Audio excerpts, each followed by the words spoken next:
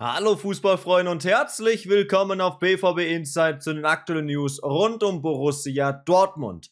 Auch wenn mit dem 1-0-Sieg am Sonntag gegen Arminia Bielefeld die neue Qualifikation für die Champions League kaum noch zu verspielen ist und sogar wieder Meisterschaftschancen vorhanden sind, wird sich am Vorhaben der Verantwortlichen von Borussia Dortmund im Sommer für frischen Wind im Kanal zu sorgen sicherlich nichts mehr verändern. Neben Niklas Süle für die Innenverteidigung und dem in erster Linie für die zweite Mannschaft eingeplanten Torwarttalent Marcel Lotka ist mit mehreren neuen Spielern zu rechnen, wobei die Anzahl Neuzugänge sicherlich auch von den Abgängen abhängen wird.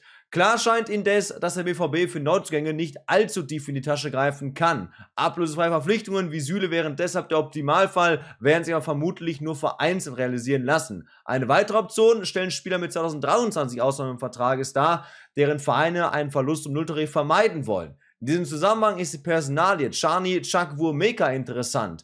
Das erst 18 Jahre alte Mittelfeldtalent von Aston Villa wurde bereits im Mai 2021 erst mit BVB in Verbindung gebracht, der den Youngster seitdem augenscheinlich nicht aus den Augen verloren hat und nach Informationen von unter anderem der Westen auch weiter beobachtet. Damit allerdings ist die Borussia nicht allein, denn auch der FC Bayern München und mehrere Topclubs der Premier League sollen den englischen Junior-Nationalspieler mit nigerianischen Wurzeln im Blick haben.